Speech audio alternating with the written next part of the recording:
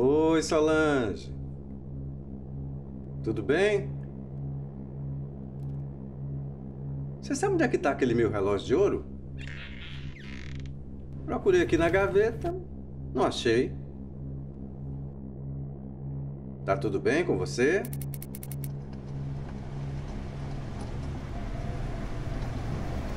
Manda notícias.